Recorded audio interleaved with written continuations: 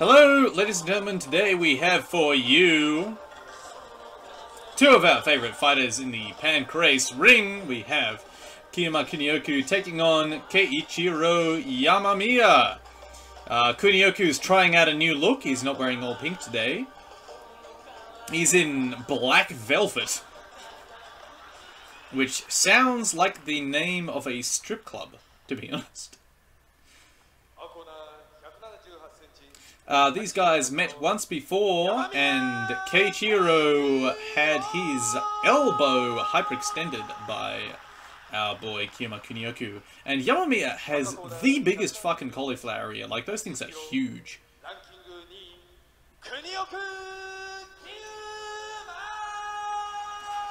Kunioku's ready to go. Uh, Kunioku coming off a loss against Bas Rutten, looking in killer shape as always.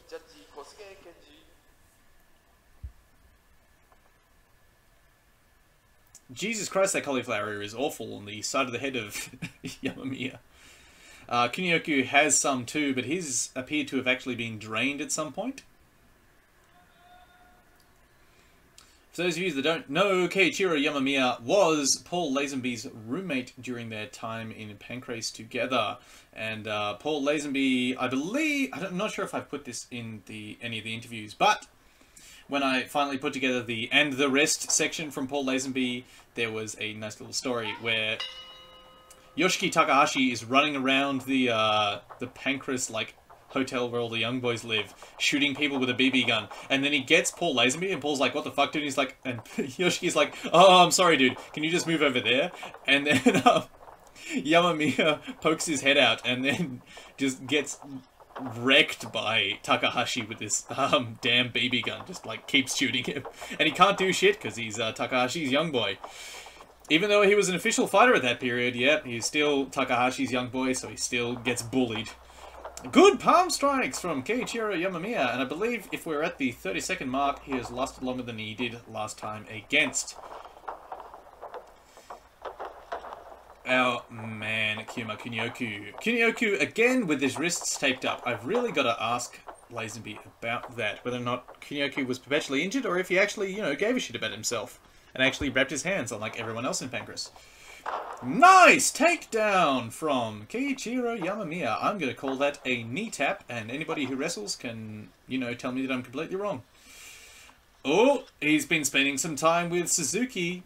Uh, like I said, I got my thoughts on the looks of guys. Uh, so I think Kondo and Funaki, not Kondo, Funaki, and Kiyomiya Kunioku were all sort of they all hung out together, whereas I think Yamamiya was definitely hanging out more with Suzuki. Nice leglock entry from Kiuma Kunioku, and good efforts from Yamamiya to defend this leglock attack. He's separating the legs, and he's keeping his weight on the leg, which is a surefire way to stay the fuck up and not get knocked over. Uh, if you want to... Oh, nice toe hold, though. Nicely done, Kunioku, to get the turnover and pop up on top. If you want to see leg lock defense done right, watch uh, Vinny Magalhaes versus Gordon Ryan. If you want to see leg lock defense done wrong, watch Vinny Magalhaes versus Craig Jones. Because he gets a spiral fracture all the way up his fucking tibia. Because he refuses to tap to an inside heel hook. Gets caught in two more. And then he's just like standing around, I believe, and just goes, uh, okay, yeah, I'm definitely done. Because his whole leg's just being munted. Uh, Keiichiro Yamamiya possibly thinking cross heel hold here with the uh, crossed feet of our man Kiuma Kunioku. Kunioku kind of stuck here on the bottom.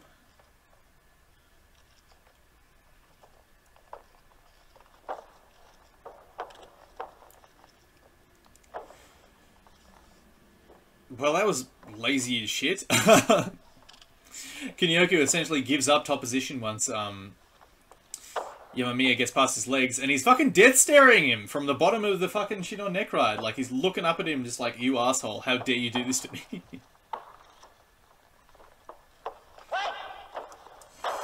uh, attempted TK scissors from Yamamiya, and a bitch slap when um, they hit the ground again. Nice backstep from Yamamiya. Setting up the double wrist lock attempt. Uh, armbar from the bottom of side control from Kunioku. That's pretty fucking cool. Uses it to regard. Elevator hooks. Uh, nearly stands up, nearly gets caught in a guillotine, and goes belly up to avoid the guillotine. Nice grappling. This is good stuff.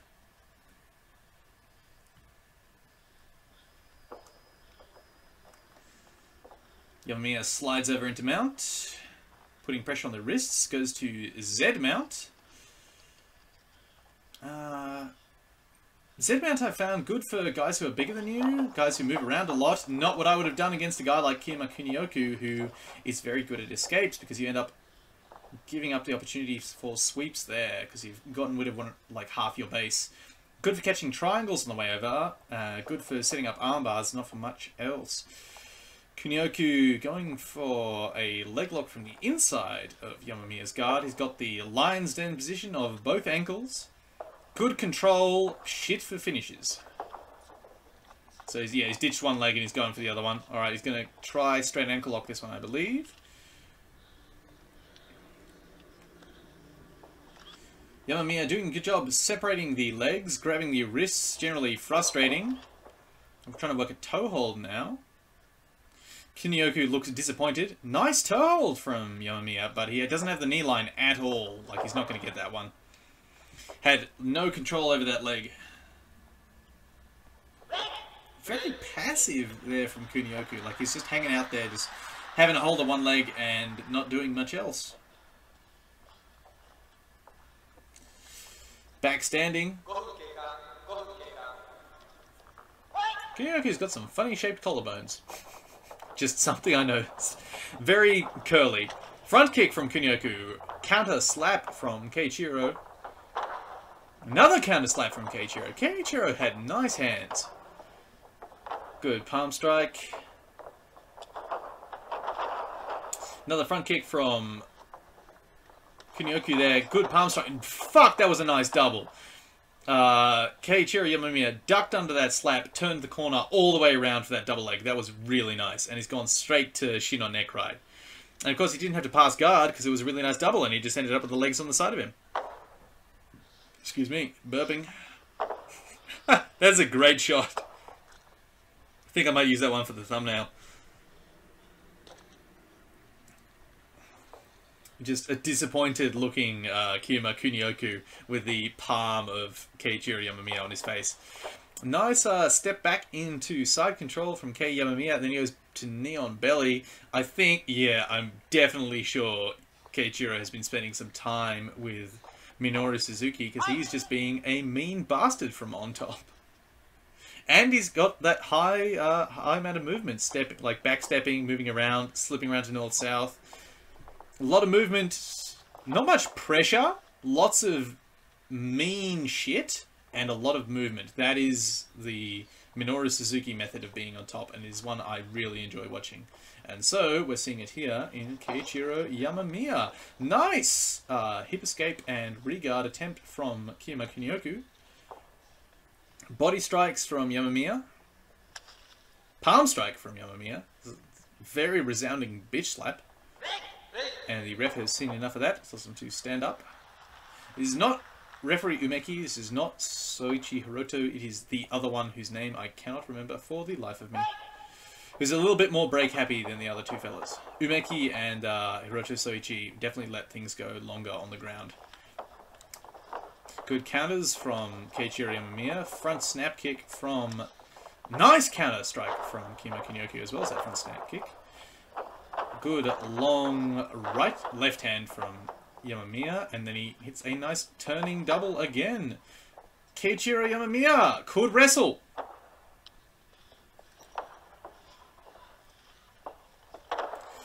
Uh, thinks leg locks gets caught up in a leg lock attack of his own because he was lazy as shit on that leg entry. Toe hold attempt from Kiuma Kunioku, and he rolls out of that nicely, ends up giving up top position to Kiuma Kunioku. That was cool, though. Kunioku immediately says, you know what, I don't want to be on top, I want to chase leg locks. And sits back for the leg lock fight. Toe hold, spins out, no knee control, spinning, twirling, twirling, twirling towards freedom is Keiichiro Yamamiya. And he's trod on the testicles of Kiyama Kunioku to escape the leg lock position. And he's coming up on top. Kunioku inverts all the way underneath. Nicely done. And he's into the toe hold. Again, without the knee secure properly.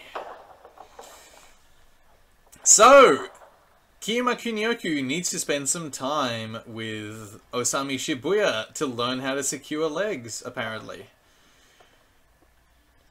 And I think... Oh, back steps into the knee bar attack. Cool as fuck. But I don't think he's going to get it because he's not going to cross his legs. He's not going to attack the leg properly. Uh, he's got that knee bar out straight, but Keiichiro Yamamiya working nicely on defense. Goes to the toe hold again. Keiichiro Yamamiya escapes. Thinks about grabbing the ropes, realizes he's free, and doesn't. And back to the leg lock attack goes Kiuma Kunioku. This is 100% a goddamn Eddie Bravo Invitational match. nice. Exactly what I like to see. Uh, Kunioku just decides not to defend double guard, his butterfly guard anymore, just flattens out his leg. Yes, Yamamiya! Slap it! Treat him like a bitch for giving up guard like that. Honestly, ladies and gentlemen, I don't know who's won this one, so we'll have to wait for the ref for the uh, referees and judges' decision. Yamamiya working Ezekiel chokes, palm strikes, slides back, tries to back out into guard. Kunioku flattens his legs out again, like he. Uh, I don't think Kunioku liked half guard, maybe, because he's just like, yeah, whatever, just you know, pass me, it'll be fine. Kunioku thinking leg lock attack, spins into the ankle lock, going for that Rutten style one, doesn't have the knee line himself. Kunioku breakdances out of it, and that is the end of the match. Alright, I don't know who wins this one, ladies and gentlemen, so we'll go to the referee's decision. Ref tells him to go to the corners.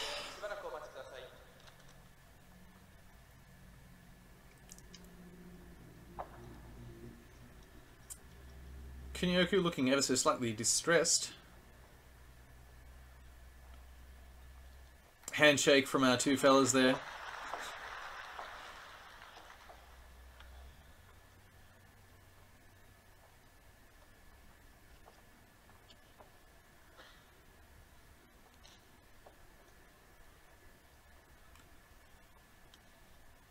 God damn it. If Kiuma Kunioku didn't like model in girls magazines throughout his entire career, he made a huge fucking mistake. I'm telling you that right now.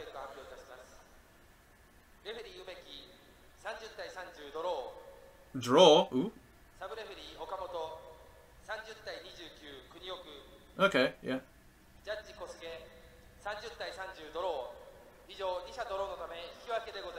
Majority draw, and I think, you know what, that's well deserved. It was a very even match. Very fun to watch. I actually quite enjoyed it. But, yeah, no definitive winner in that one. So, thank you very much, ladies and gentlemen. I hope you enjoyed that. There's a lot of leg lock intricacies going on there, which is, you know, fun to see, for me at least. I hope you enjoyed that, and I hope to see all of you next time.